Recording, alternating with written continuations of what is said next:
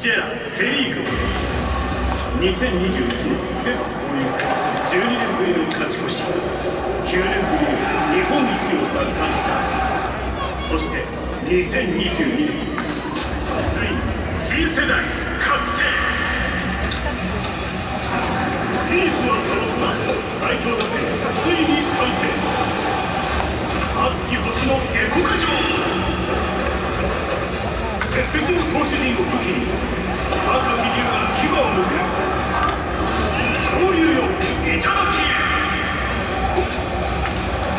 ガツガツ貪欲に見せつけ勝利に飢えた若鯉の意地躍動する新星誇り高き巨人軍今逆襲の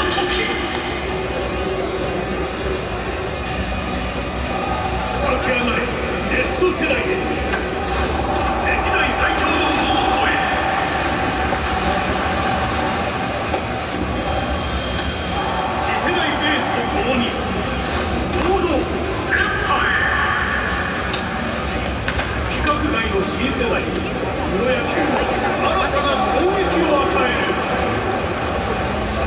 ニュージェネレーションニューセントラルジェラセ・リーグってこようかな。も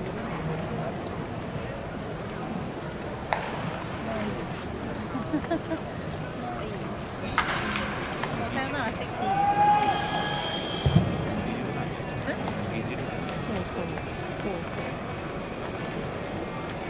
初の一口二口は美味しかったんですけど、だんだん飲めなくなってきた。